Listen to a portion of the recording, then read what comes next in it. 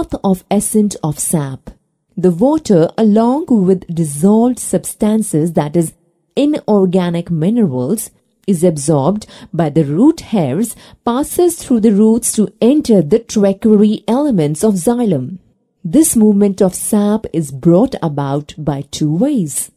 Active transportation under suction pressure gradient or diffusion pressure deficient that is DPD that is the force with which water diffuses into a cell.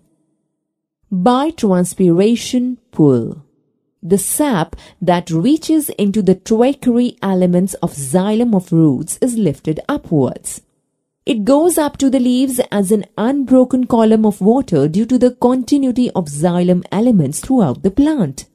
This upward movement of sap is brought about by virtue of one or more forces such as root pressure, cohesion and adhesion of water and transpiration pull acting simultaneously, and capillarity action.